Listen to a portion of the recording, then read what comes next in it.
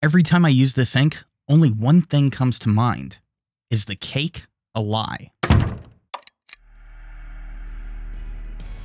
Last week, I wanted to catch up a little and take a look at the fan favorite California Teal from Monteverde.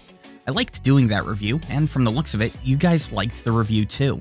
Don't worry, I'm working on getting my hands on some of the inks that you've recommended down in the comments. Those will be coming up in the future. For today, though, we're going to be taking a look at a rather delicious blue from Monteverde. Unlike California Teal, the logic behind getting this ink was a little bit more nebulous. In fact, I kind of bought this ink due to being hungry when stationery shopping. Which, yes, it's exactly like going grocery shopping when you're hungry. You shouldn't do it, but I did. And having written with this ink for two weeks, I can definitely say that buying Blue Velvet Cake was a good purchase, and I'm glad I took the chance on the unknown and picked up the bottle. So let's go through our friend TLDW and then take a look at the ink. First and foremost, I like the price point on these Monteverde inks. It's really nice to pick up 30 mil for under $10. After that, I like the shade of blue that we get from this one. I mean, it's a nice deep blue without being overbearing or dull. And I like that it isn't making its name on sheen or shimmer. Sometimes you just want blue, and that's what this ink does. And I'm also a fan of the bottle, you know, glass bottle. It's a win for me, especially with that metal cap. I should probably also mention that this is kind of a dry ink, but the ITF tech put in by Yafa does actually make it very workable.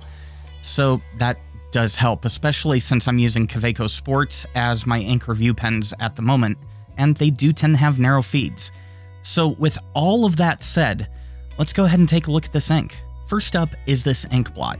Now, like I was saying, this is just a straightforward blue ink, and I think it hits its namesake dessert right on the head, especially in those mids on the left. Let's go back to the right though. In a finer medium nib, you're going to get these lighter mids, and I think that is a very nice blue. It's a good, strong color, and I like that this is really the starting point for this ink. Moving back to the left, these deep mids, like I said, are velvet cake for sure. The really nice part about this ink is what it does towards the top. We've got some really smooth transition tones that fade into a very subtle sheen.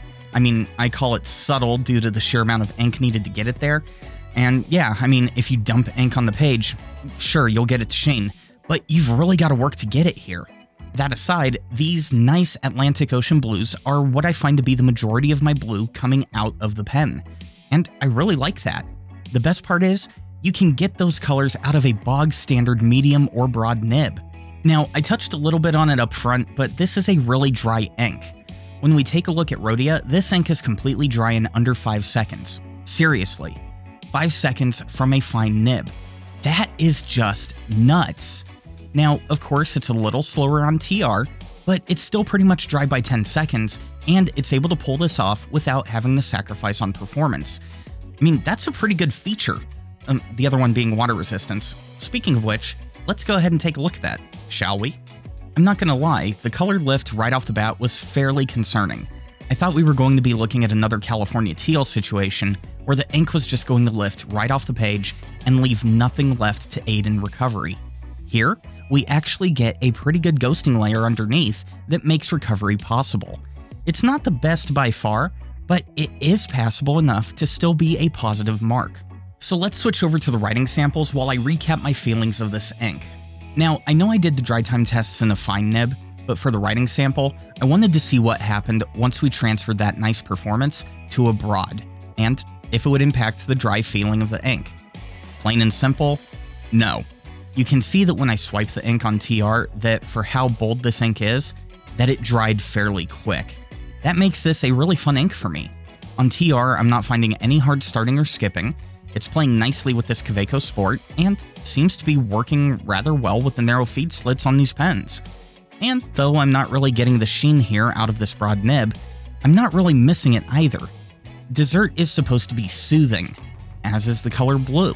And with this ink, I find it very nice, soothing, and an overall fun experience.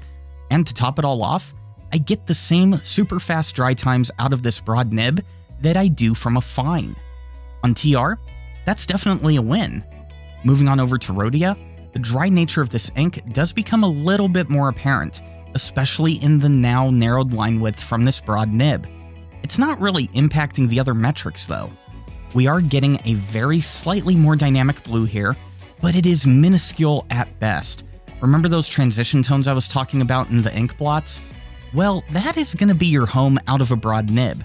I think you may see some of those lighter shades in a finer medium, but anything thicker than that, or a slow medium writer, and you're going to be seeing what I'm putting down on the page right now.